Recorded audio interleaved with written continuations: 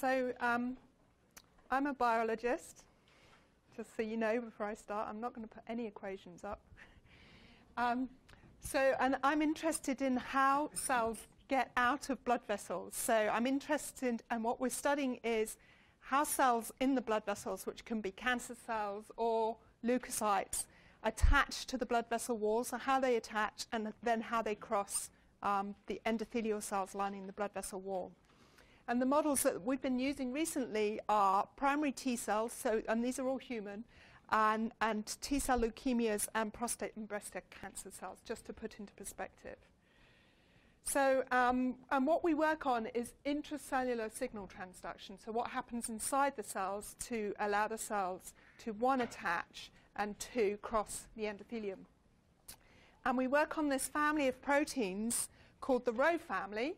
Um, there are 20 human genes, uh, and uh, the first were cloned in 1985, these three, Rho A, Rho B, and Rho C, so hence the name is Rho because they, that comes from this. It actually stands for Ras homolog, so they were cloned because they were homologous to Ras, and uh, which was known to be uh, an oncogene in cancer. So today I'm going to be talking about um, our efforts to study, oh, these, and there's another protein I'm specifically going to be talking about, which in contrast to the rest of them has a silly name called CD42. The rest begin with R, so it's easy, but this is a yeast cell cycle mutant that was originally identified in yeast, so it has this yeast name. So it's confusing because it doesn't begin with R. Okay. So um, I want to put these proteins into where they are in the cells for people who are physicists and computational so you understand what they're doing. So they're involved in signaling in cell migration. And when we consider cell migration, we have receptors on the cell surface that stimulate signals inside the cell. So particularly for leukocytes, we might be thinking about integrins, which bind um, to the uh, endothelium. And then inside the cell, you have these proteins called signal transducers that get activated in response to these receptors. And the particular ones I'm going to be talking about are these ones, which are GTPases. And, and the ultimate aim of all these signaling uh, molecules is to change cell migration. So, and this involves changes to actin, um, polymerization, microtubules, and cell adhesions to allow the cells to move.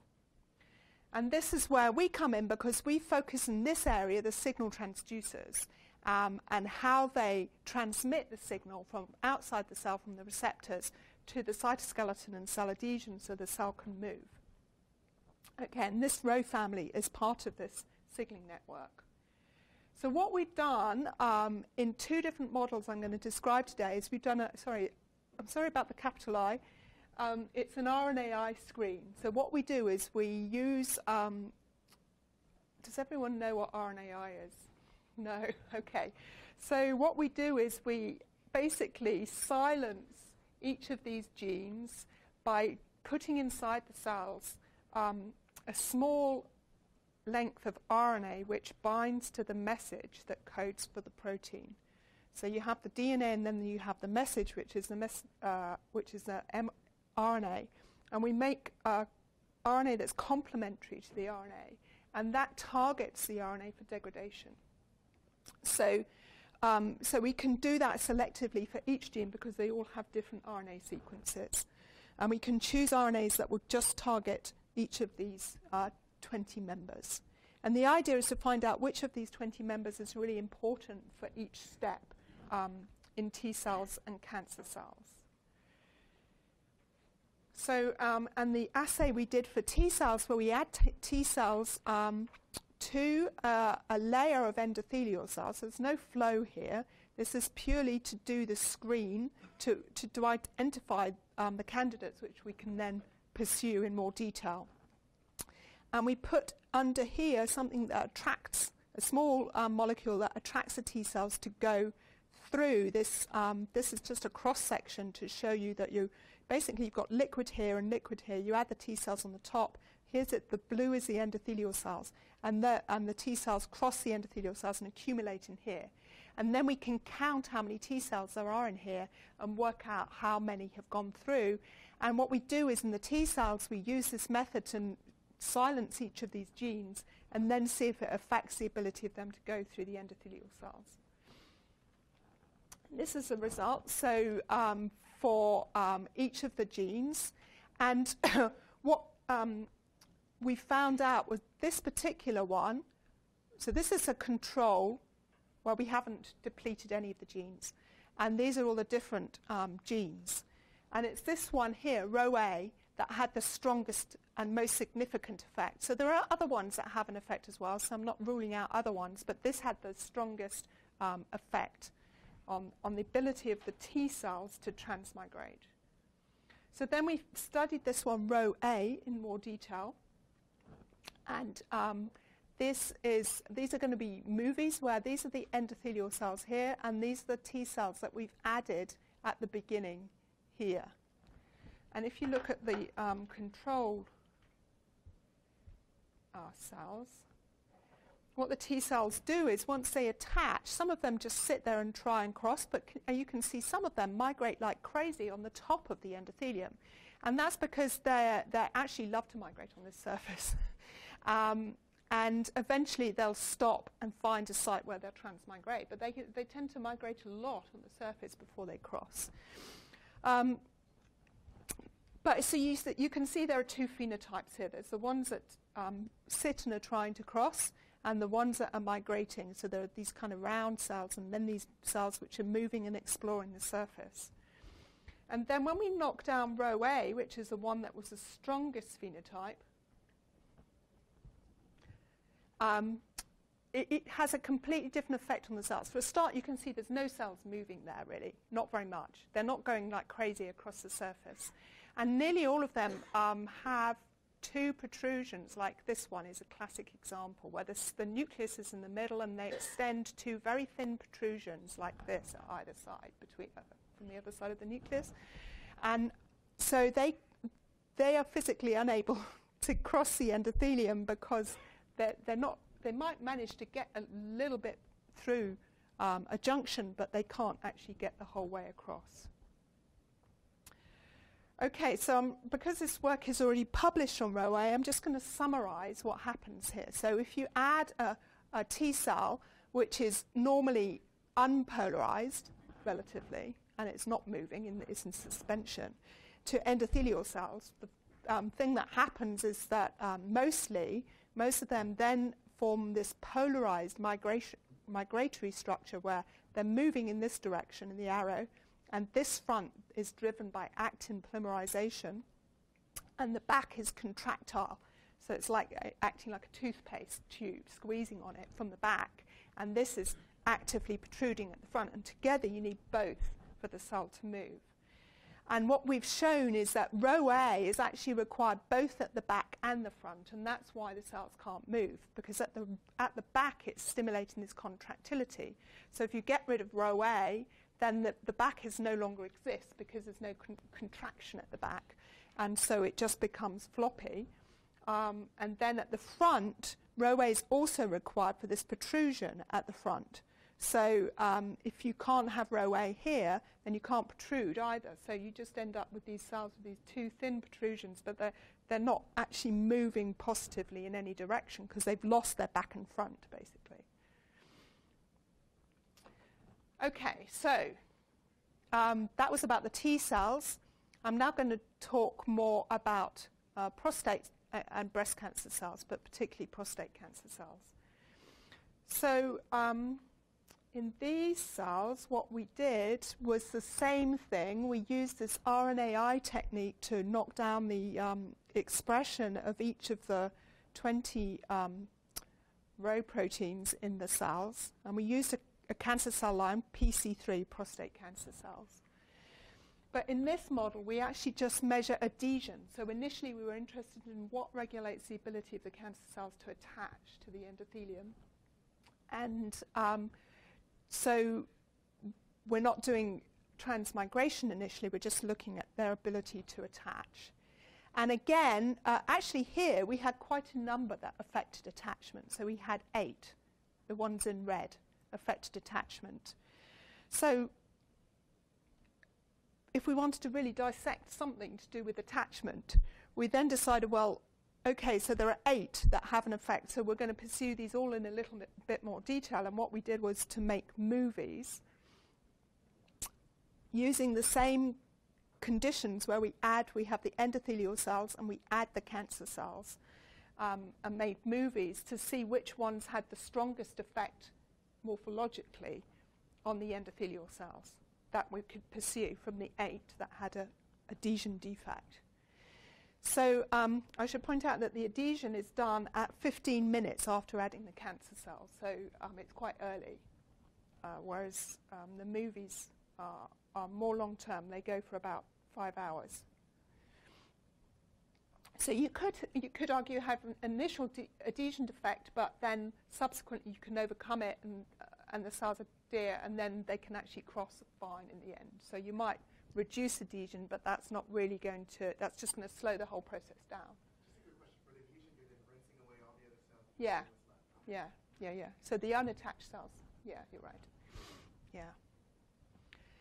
Okay, so we knocked down, this is just example movies. So um, uh, in every case, the control cells, we mix the two. So we mix the control cells, which are in blue, with the cells that we've manipulated to, re- to reduce the levels of RhoA, RAC1, and CD42 in this case, which are green. So this is really nice because we can look at them both at the same time in each and, and compare the populations. So um, what you'll see is, I mean, they, they attach we, we measure the attachment at 15 minutes, but each cell individually, it can be a long time before they um, start to go into the endothelium. And what you see, if you look at the control cells first, so here, um, they insert into the endothelium and they just move around with the endothelial cells, which are also moving around a lot, actually. Um, and they move around in the endothelium. Now, they're, they're stuck on glass, so they can't get through. Um, if we set up a 3D system, they would go through. But um, in this situation, we're just trying to see if there's a difference between the cells under the different conditions. And um, from doing this, we could say that this one, CDC42, had the strongest effect. So although the other cells, like the RhoA, the ones lacking RhoA, RAC1, they had a delay in adhesion, ultimately they could sit down and become part of the endothelial monolayer like the control cells. But the CDC42 depleted cells, you can see here, these green ones, they're still round on the top. They haven't flattened out. And, and the way we can tell is because the flattened out cells, you can see the nucleus here, like there, there, and there. But these cells are still round on the top. So they've never managed to become part of the endothelium. So because of that, we decided to follow up on CDC42. And um, Nico Raymond, who was doing this work, tracked loads and loads of movies, cells in the movies, um, to see at what time they carry out this step of becoming part of the, of spreading between endothelial cells and becoming part of the endothelium. And you see, even at, at 30 minutes, actually about 40% of the cells have already done it. Um, by uh, six hours, um, nearly 100% of the normal cells have done it. But if we, if we reduce the level of CDC42 protein in the cells, this is really dramatically reduced. So at 30 minutes, you know, you just, none of them have done it, hardly. Um, and it, although they pick up, uh, it's still much lower than these cells. And I should point out that even though they might have um, sat down in the monolayer of endothelial cells, they still look different. These CDC42 depleted cells are still more rounded. Um, okay, so so then so then what we did was actually to look at what they look like in vivo. And to do this, what we do is to inject these same cancer cells into the tail vein of mice. And they go around in the circulation, they come out into the lung, and they get stuck in the lung, and we image them in, in the lung. So these are the blood vessels in red, um, and we're using um, an antibody to an endothelial surface protein so we can see the blood vessels. And you can see in the lung there, there are lo- loads of blood vessels. And they're all quite small. These are capillaries. So um, what you can see is that um, 10 minutes after injecting the cancer cells, we can actually, but by the time you've dissected out the lung and imaged it, it takes 10 minutes. you inject the cancer cells and, and um, dissect out the lung and look at their morphology.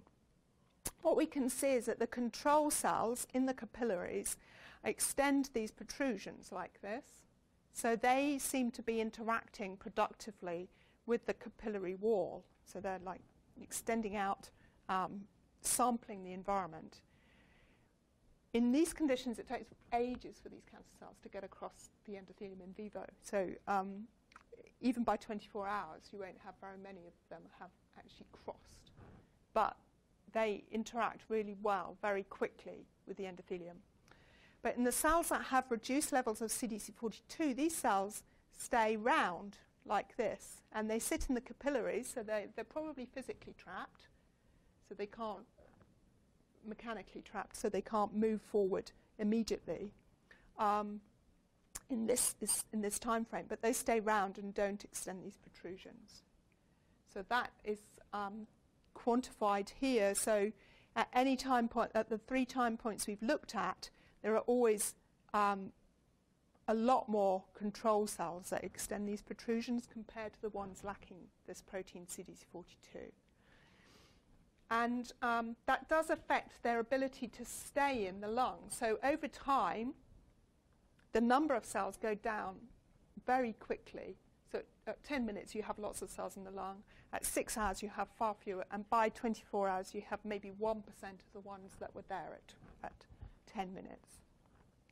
Um, but now we're looking at the relative proportion of the control cells versus the CDC42 knockdown. And, and the CDC42 depleted cells go down much faster than the control cells, which suggests that because they're just staying rounded, they're being washed away probably and, and detaching and going off much more easily than the, the normal cancer, the, the, the control cancer cells. So they might initially get trapped physically, but then they would move away. Now, um, the ultimate aim of this work is to see what, uh, whether stopping adhesion affects the ability of the cancer cells to form metastases. So in this, in this when you inject the cancer cells into the tail vein, they go to the lung. The ones that survive and stay there can form metastases. Um, so they grow there, and um, you get these, and you can measure these after. So this is measured after six weeks. Um, I mean, I don't know if you can see this very clearly, but these, these lungs have these nodules on the surface, which are the metastases in these lungs, which receive this, these receive the control cells, these receive the cells that have reduced CDC42 levels, and there are far fewer of these. But anyway, the graph shows you the difference. So we can count these, um, and uh, there are far fewer uh, when we've depleted CDC42. So that tells us that um, CDC42 is really important for the adhesion step and, and then for the subsequent ability of the cancer cells to spread um, in, the, in the blood vessels and in, at least in vitro to cross the blood vessel uh, wall.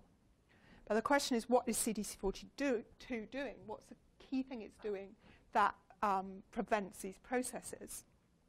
So um, what Nico did was to look at the cell surface receptors on the cancer cells and look at lots of different receptors that could be involved in this attachment phase because that's the very first phase that we're looking at.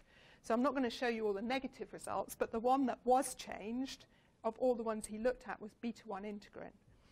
So beta-1 integrin is, is known to be very important um, anyway for metastasis, but nobody's really pinpointed the step at which it acts.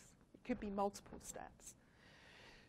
So um, first of all, the most important thing is that the surface beta-1 integrin levels go down. So um, that's the amount actually on the surface of the cells, because that's critical for them to attach. Um, and this is measured by um, using fluorescence. So we add an antibody to beta-1 integrin that's fluorescent, and then you measure the, the fluorescence of the cells. Um, and so what you see is this, these, this is a fluorescence of the control cells um, with beta-1 integrin antibody, and then this is reduced with CDC42. This is a log scale, so it's actually quite a big difference. And, um, and this is quantified here, so the decrease is, um, is at least 50%. And then um, if we put, put back CDC42, then it goes back to normal. So it shows that it's really CDC42 that's affecting these levels. So sure enough, if we reduce the levels of beta-1 integrin using the same method of this RNAi to decrease the amount of beta-1 integrin on the cells, we can also see the same effect on the ability of the cells to um, sit into the endothelium. These are the control cells, and these are the beta-1 integrin knockdowns. They just stay on the surface and never sit down like this and spread uh, between the endothelial cells. So beta-1 integrin is important for this step, and um, it's regulated by CDC42. Um, this is showing the same kind of data where we tra- uh, uh, Nico tracked the cells and worked out when they were t- spreading between the endothelial cells. And again, the control cells, it goes up to nearly 100% by, by six hours. And the CD42 depleted cells very strongly reduced. If he, put, if he re-expressed, so we know that the beta-1 integrin levels are lower on these cells without CD42, The beta-1 integrin levels are reduced. Uh, are, if we put back beta-1 integrin, so we re-express beta-1 integrin so the levels are now back to normal, we can rescue this effect. So this is, these are these ones here, so it goes back up um, similarly to normal. So that would say that really what CD42 is regulating is surface levels of beta-1 integrin, and this means the cells attach less and they can interact less uh, with the endothelial cells, and this really strongly inhibits their um, metastasis.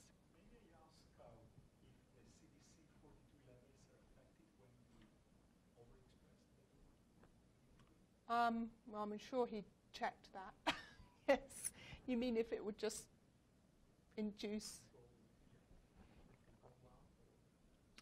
I mean, we've got we've used the RNAi to deplete CD42, so it should stay down. I would, I would be really surprised if it could stop the RNAi. But I'm sure he would have done that as a control anyway to check the whole experiment was working. Okay, so um, so then the question is, what at what level does CD42 act? Because um, there are multiple levels at which you could affect beta-1 integrin. You could affect um, transcription, so from the gene, or you could affect uh, translation from tra- transcription to translation, so making the protein, or you could affect the protein getting to the surface. So it can be trapped, at, it could be stopped at multiple stages. So uh, Nico um, dissected all of this and found that, in fact, it may be affecting other stages, so I'm not ruling out other stages, but at least he could see that the CD42 reduction affected um, beta-1 integrin transcription. So the levels of the message for beta-1 integrin went down in the CD42 depleted cells.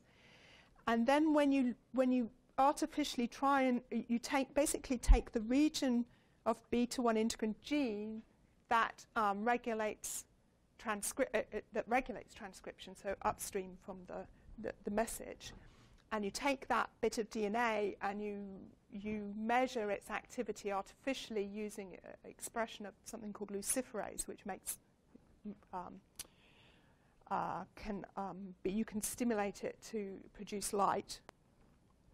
Um, so we can measure the activity of the, the bit of DNA called the promoter that um, makes the messenger, and we found that CD42 stimulate. Uh, if we deplete CD42, this reduces the activity of this promoter region for the message.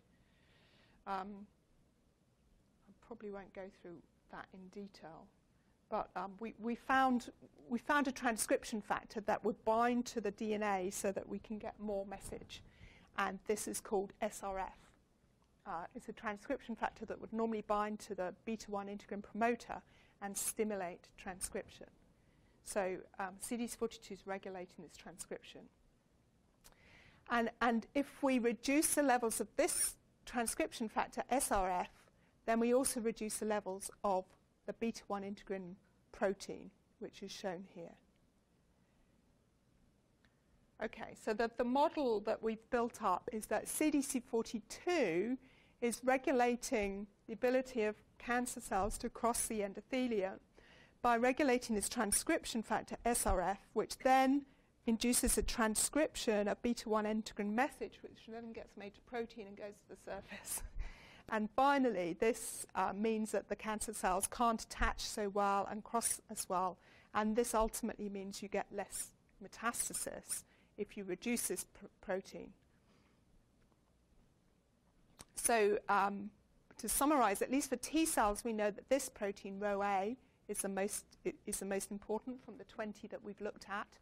Um, whereas for these prostate cancer cells, it's, it's not RhoA, it's CDC42 uh, through this transcription factor and beta 1 integrin. Um, and I want to thank the people who've done the work. So the T cell work was done by Sarah Heisman and Elvira Infante. And the prostate cancer work was nearly all done by Nico Raymond with help from Barbara Border-Dagua and Rita. And we were helped a lot by, uh, for the cancer model by um, Ruth Michel's lab, um, Robert Grosser for beta 1 integrin transcription. Okay. Thank you.